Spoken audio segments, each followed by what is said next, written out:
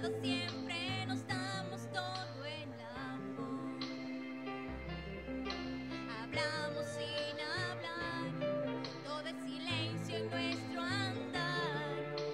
Amigos simplemente amigos y nada más. Pero quién sabe.